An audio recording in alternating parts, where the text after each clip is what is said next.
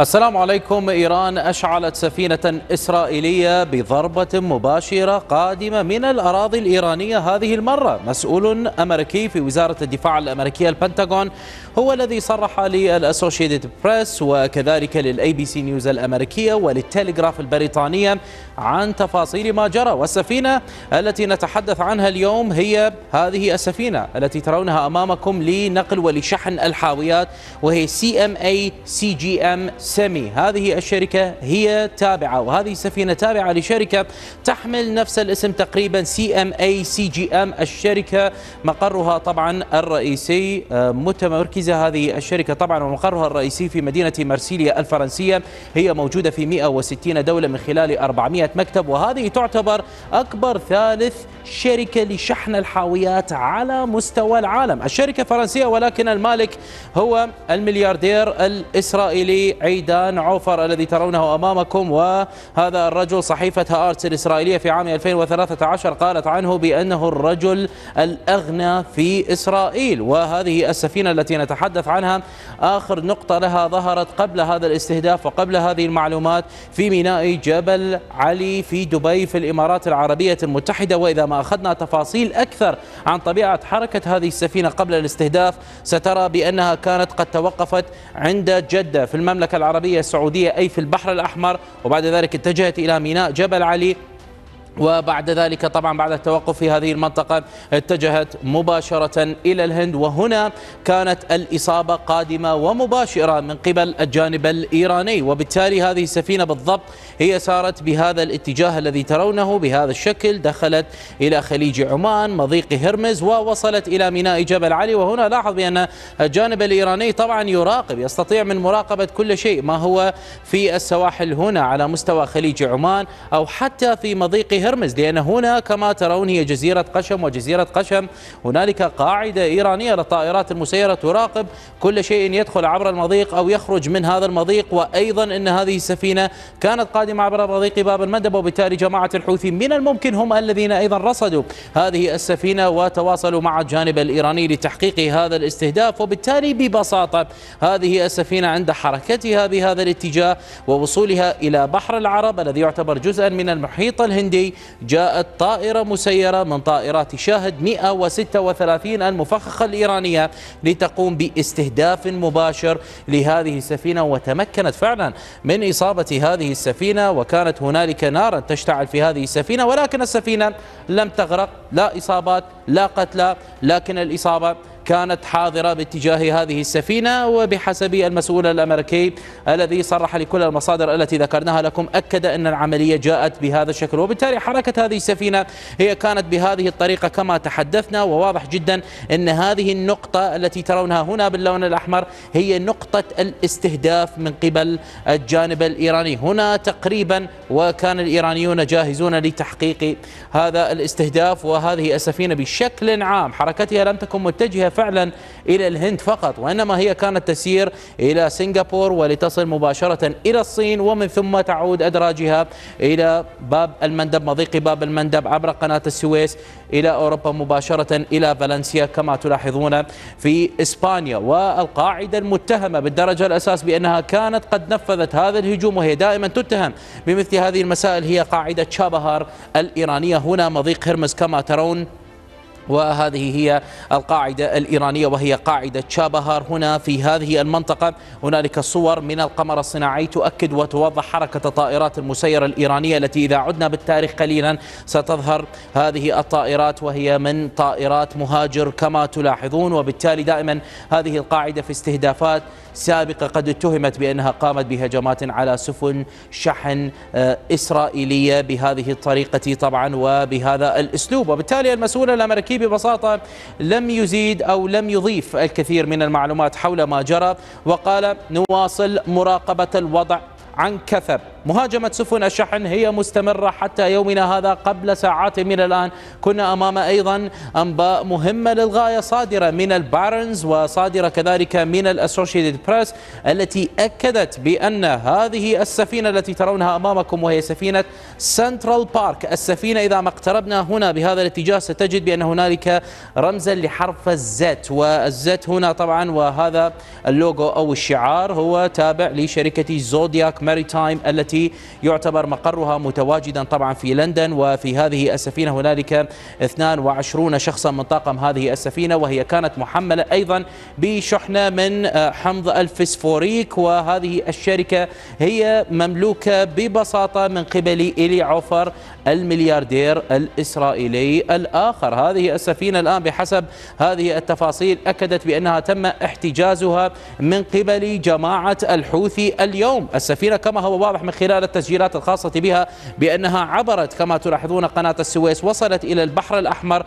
وكانت في هذه النقطة من البحر الأحمر كما نلاحظ آه، في العشرين من نوفمبر أي قبل ستة أيام والمراقبة كانت حاضرة من قبل جماعة الحوثي. وحتى المنظمة البريطانية لتتبع سفن الشحن آه، الموجودة في المنطقة بشكل عام أكدت أن هنالك حادثا للقرصنة قد تم لهذه السفينة ونشروا بهذا الشكل هذا التحديث في السادس والعشرين كما تلاحظون من نوفمبر اليوم وأكدوا بأن نقطة وعملية احتجاز هذه السفينة قد جاءت هنا أي في خليج عدن كما تلاحظون. عدن لا تسيطر عليها جماعة الحوثي نهائيا وهذا يوضح أن جماعة الحوثي قد وسعت عملياتها وبأنها تتبعت هذه السفينة وقامت بضبطها وطبعا سحبها مرة أخرى إلى أراضيهم وقد يكون ميناء الحديدة مرة أخرى كما فعلوا مع الجالكسي ليدر سحبوها إلى تلك المنطقة في تطور خطير وكبير للغاية لطبيعة أين ذهبت جماعة الحوثي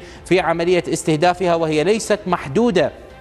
فيما هو طبعا قبل مضيق باب المندب. وهذا التطور يأتي بعدما جاء المتحدث باسم القوات المسلحة اليمنية وهو العميد يحيى السريع الذي نشر بتغريدة بهذا الشكل. يوم أمس قال زم زت آي أم لم يفهمها الكثيرون ولكن زت آي أم هي ببساطة هي شركة للشحن إسرائيلية تحديدا. هذه الشركة هي من الشركات المهمة من أفضل 20 شركة على مستوى العالم في شحن الحاويات. والشركة طبعا هي مركزها الرئيسي ومقرها الرئيسي في حيفا كما تلاحظون من هذه التفاصيل ورئيس المجلس الإدارة أو رئيس مجلس الإدارة لهذه طبعا الشركة التي نتحدث عنها هو إيلي جليكمان وأحد أهم المستثمرين فيها هو عيدان عوفر نفس الرجل الذي تحدثنا عنه في بادئ الأمر للسفينة التي استهدفتها طبعا إيران. وطبعا واضح جدا أن الجانب اليمني من قبل جماعة الحوثي تحديدا تحدثوا عن زم ZIM و الهدف كان هو ال Central Park. هذه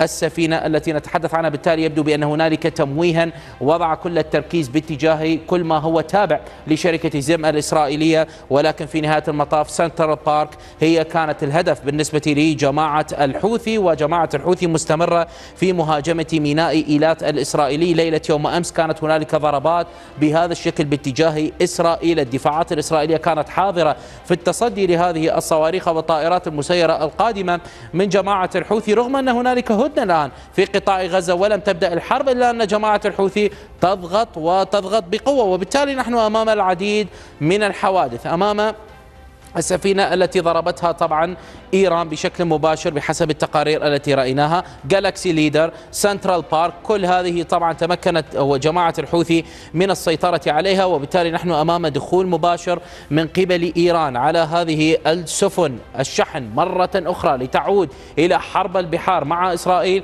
وأيضا يجب أن لا ننسى بأن الفصائل العراقية الأسبوع الماضي كانت قد أعلنت عن امتلاكها عن زورق مسير مفخخ سيستخدم ومتوقع أن يستخدم طبعا في الخليج العربي ويصل مداه إلى 500 كيلومتر وهذا يعني بأنه يغطي أكثر من 50% من الأهداف الموجودة طبعا في الخليج العربي وبالتالي هنالك أكثر من طرف ممكن أن يحقق هذه الضربات وممكن أن يحقق مثل عمليات الاختطاف التي تقوم بها طبعا جماعة الحوثي مع الاستهداف المباشر على الجانب الإسرائيلي. وبالتالي نحن نلاحظ بأن هنالك ضغطا على مضيق باب المندب وعلى مضيق هرمز ضغط كبير على الشحنات العالمية والدولية وإن كان الاستهداف أو المستهدف هي إسرائيل لوحدها فقط ولكن هنالك شركات تتشارك مع الجانب الإسرائيلي في هذه السفن. كما نتحدث بعض المقرات موجودة في فرنسا أو لندن أو غيرها من الدول أو حتى تستأجرها إسرائيل فقط ولكن عائديتها أو عائدية هذه السفن إلى أطراف أخرى. وبالتالي النفط العالمي التجارة العالمية بشكل عام إن حدث أي اضطراب في هاتين النقطتين هذا يعني بأن العالم بأكمله قد يدخل في مشكلة تضخم عالية للغاية مشاكل على مستوى الطاقة والوقود. وهذا طبعا يضرب بشكل مباشر الولايات المتحدة الأمريكية أو حتى أوروبا. وخاصة إذا ما وسعت جماعة الحوثي من مسألة استهدافاتها تجاه الولايات المتحدة الأمريكية والسفن الأمريكية وليست فقط الجانب الإسرائيلي. إن تطور هذا الأمر سيتطور وستتطور الأمور بشكل خطير خاصة وأن جماعة الحوثي وغيرها من إيران وغيرها يقولون للولايات المتحدة الأمريكية أنت تدعمين إسرائيل في هذه الحرب وبالتالي يجب أن تتحملين الأعباء وأعباء ما هو قادم. نضغط عليك لكي توقفي الدعم لإسرائيل لكي تتوقف الحرب على قطاع غزة أو أن تستمر الهدنة أو يكون هنالك حل سياسي. وكان هنالك هجوما في الثلاثة أيام الماضية تحدثت عنه القيادة المركزية الأمريكية وقالت أن هنالك طائرات مسيرة جاءت من اليمن من جماعة الحوثي وكانت متجهة باتجاه USS Thomas Hudner الموجودة طبعا بالقرب من السواحل اليمنية وبالتالي ما يشير له هذا البيان أو هذا المنشور بهذه الطريقة يوضح بأن قد يكون أو قد تكون الهدف هي USS Thomas Hudner في تطور خطير وخطير للغاية لكن حتى هذه اللحظة الجانب الحوثي أو الجانب اليمني يقول بأن الجانب الأمريكي هو ليس هدفا بالنسبة لنا. لكن الضغط طبعا هو لإبقاء إسرائيل في هذه النقطة أو حتى الانسحاب من قطاع غزة. فبحسب التقدم في شمال قطاع غزة بآخر تحديث قد صدر من الوور مابر ستلاحظ أن السيطرة للجانب الإسرائيلي تقريبا 48% في شمال قطاع غزة فقط وبأن الفصائل الفصائل الفلسطينية تسيطر على ما يقارب ال 52% حتى هذه اللحظة. بالتالي لا زالت الفصائل الفلسطينية أيضا تسيطر على مركز المدن الموجودة هنا مخيم جباليا لا زال تحت سيطرتها. هذه المناطق كلها لا زالت تحت سيطرة الفصائل الفلسطينية. وبشكل عام ترى الجانب الإسرائيلي كل ما يسيطر عليه هو تقريبا تقريبا 24% من كامل قطاع غزة. هذه مسألة مهمة للغاية في طبيعة أن الفصائل الفلسطينية قادرة على البقاء على الحياة في هذه المعركة. لا زالت رفح خان يونس. كل هذه المناطق طبعا تحت سيطرتها لكن الجانب الإسرائيلي يبدو بأنه مصر على عودة هذه الحرب. البيانات الإسرائيلية واضحة. يقولون المدنيين بشكل واضح من شمال قطاع غزة آه، تستطيعون استغلال هذه الهدنة للذهاب من الشمال إلى الجنوب. ولكن ممنوع أن تتحركوا من الجنوب إلى الشمال. ستوقفهم طبعا آه، هذا أو سيوقفهم هذا آه، الرتل الكبير أو السيطرة الكبيرة الإسرائيلية التي تحققت في الأيام الأولى من الاجتياح الإسرائيلي لشمال قطاع غزة. وإسرائيل ترى بأنها أيضا تبحث عن تقطيع أوصال آه، قطاع غزة بهذا الشكل من طبيعة التقدم إلى أربع مناطق أو إلى أربع أجزاء من أجل تحقيق التقدم في داخلها. بالتالي نحن فعلا أمام ظروف كبيرة للغاية في هذه الحرب الهائلة التي تجري هنا والتي تنعكس طبعا على مستوى المنطقة بأكملها. حرب ليست بالسهلة حرب صعبة للغاية وبدأنا نرى جبهات جديدة ونتحدث اليوم عن البحار بشكل واضح.